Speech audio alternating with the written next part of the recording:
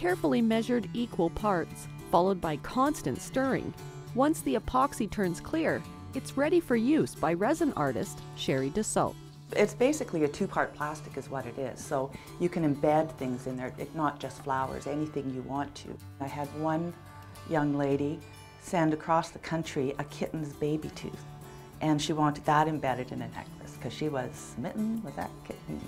I do a lot of um, a lot of custom work for people, for example, brides after the wedding, and they want to make a nice little keepsake out of the flowers from their bouquet, so I can do that, or uh, funeral flowers. Just kind of a beautiful medium to show off the beauty of flowers. Jasmine Thyme is what she calls her resin art business. And though she does grow a lot of her own flowers, she also collects what others might not see the true beauty of. I literally walked around Chemainus collecting dandelion seeds because it's the wish necklace is one of my best sellers, which is the resin sphere embedded with dandelion seeds. But I got some seriously weird looks from some of the people in town when I'm collecting dandelion seeds.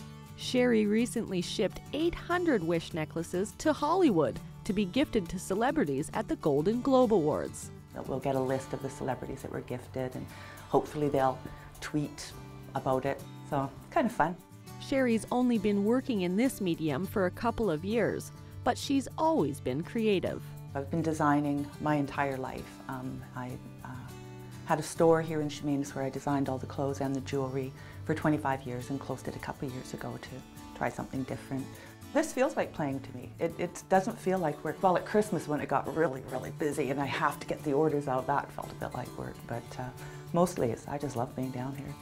Selling her work is a lot different than her experience of owning a shop. I wasn't aware of before when I had my store is this very cool place called Etsy. And Etsy is this huge online marketplace where anybody can open a shop as long as you're doing handcrafted goods and then you can sell it to all over the world. So I had to learn the resin and then the photography and then uh, learning how to sell online but I have to say Etsy makes it very very easy. And so now I'm sold um, man, to Italy, to France, Australia, all over the world.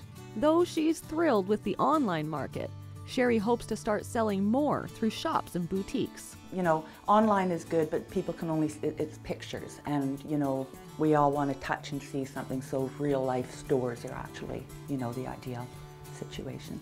There are three boutiques in the interior of BC that carry Jasmine Thyme jewelry, but none currently on Vancouver Island something Sheri hopes to change soon.